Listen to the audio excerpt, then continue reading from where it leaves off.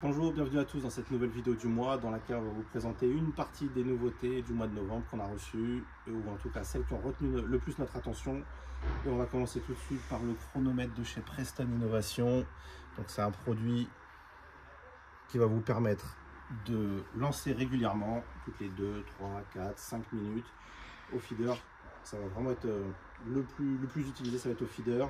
Ça vous permet aussi de voir euh, le temps entre chaque prise. Donc ça, c'est un produit que vous attendiez, vous étiez nombreux à l'attendre. Donc ça, il est enfin arrivé, il est en stock. Après, il y a deux nouveaux moulinets de chez Daiwa. Il y avait le, TDR 2018 qu'on avait l'année dernière. Il y a la nouvelle version 2024, encore améliorée niveau mécanique et niveau design. Il est quand même beaucoup plus joli, je trouve. On retrouve cette couleur bleue spécifique. C'est un moulinet qui va être très bien pour la pêche à l'anglaise.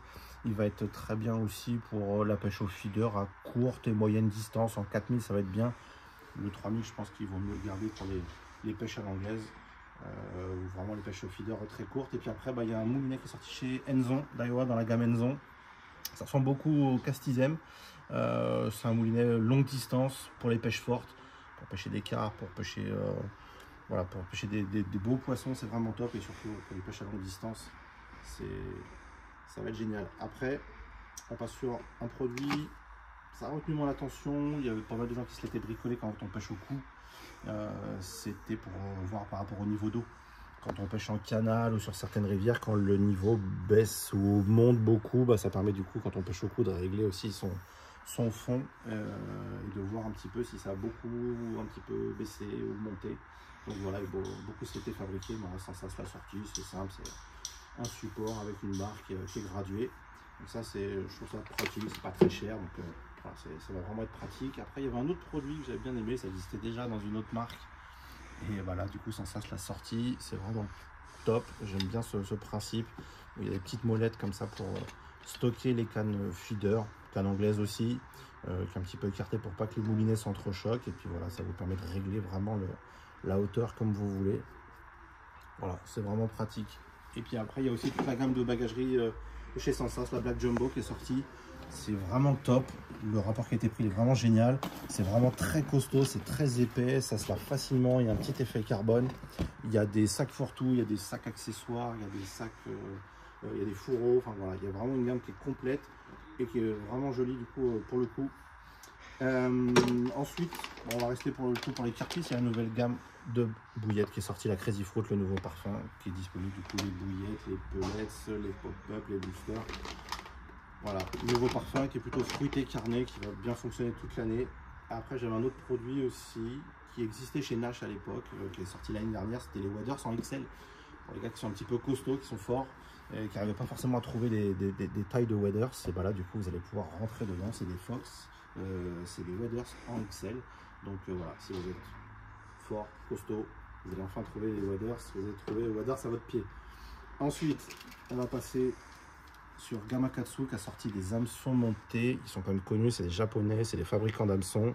Ils avaient une belle gamme d'hameçons qu'ils ont refait l'année, en, début d'année. Et donc là maintenant c'est les hameçons montés. Il y, a, vraiment tout pour pêcher au coup, pour pêcher au méthode feeder avec un speed stop, une baïonnette. Il y a vraiment euh, tout ce qu'on veut.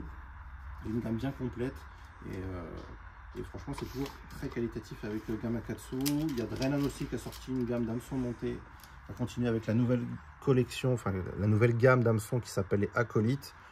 Puisque du coup, je ne sais pas si vous savez, mais tous les hameçons euh, qui sont plus acolytes, qui n'ont pas le nom acolyte, donc qui ne sont pas dans la nouvelle gamme, et eh ben, vont, sont amenés à disparaître. Donc euh, les stocks euh, disparaissent fond à vue d'œil. Donc si vous aimez certaines références, profitez-en parce qu'il en restera bientôt plus.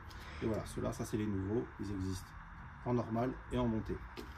Après, il y a un petit produit aussi que j'aime bien, ceux qui les ont pointus comme moi. C'est une petite coudière avec, euh, qui, est, rembourrée comme ça, avec un petit gris pour bien accrocher la canne que vous fixez ici directement sur votre coude que vous enfilez. Et du coup, quand vous avez votre canne au cou, sous le bras, bah, ça vous évite de, s'enfoncer dans le creux du coude euh, entre les deux os et, euh, du coup d'avoir parfois des douleurs. Donc voilà, c'est un petit peu... je trouve ça très pratique, c'est molletonné, ça vaut pas très cher. Et pour ceux qui en ont besoin, ils se reconnaîtront. Ensuite, il y avait une gamme de bagagerie de chez Preston aussi, pas mal de petites boîtes comme ça. C'est produits qui existaient déjà, Preston s'est mis dedans. C'est vrai qu'on passe de plus en plus à de l'EVA, on est passé sur des boîtes qui sont un petit peu rigides parce que le il avait tendance à être, bah, il était thermosoudé en bas, ça avait tendance à se décoller et du coup à s'abîmer, à ne pas être très résistant dans le temps, surtout quand on met dans les sacs Forto, qu'on les, les, les, manipule, euh, qu'on les martyrise un petit peu, bah, souvent ça, ça se décollait, ça se cassait. Là maintenant c'est rigide, il y a une version avec un couvercle dur et une version mèche, donc avec un petit filet pour, pour laisser aérer. On peut même l'utiliser pour des asticots, des terreaux, pour, mettre des, gestes, des èches, pardon, c'est vraiment top. Donc voilà un petit peu pour une partie des nouveautés. Ensuite, et eh ben, du coup, si vous, avez si vous cherchez des idées cadeaux pour vous, pour vos amis, pour votre mari, votre femme, votre frère, vos enfants, etc. La petite goodies de chez Kumu. Donc c'est des petits porte-clés que je trouve très sympa. Les logos, ils existent sur les vêtements. Donc voilà une partie. Et puis bah, après, pour les vêtements, bah, ils sont là. Ça, c'est la bonne idée cadeau de Noël. On connaît tous la taille de la personne à, qui on veut faire un cadeau. Donc voilà, je trouve que c'est très sympa. C'est des produits qui marchent très très bien dans les périodes de, fin d'année avec des cartes. Il y, a, donc, il, y a la version pull, il y a les t-shirts. Donc voilà, c'est stylé, simple mais en même temps c'est joli. Et je pense qu'à mon avis ça c'est le genre de cadeau qui va faire plaisir. Donc voilà. Un petit peu une partie des nouveautés. N'hésitez pas à vous abonner sur Facebook Instagram YouTube à nous suivre. Et à la prochaine vidéo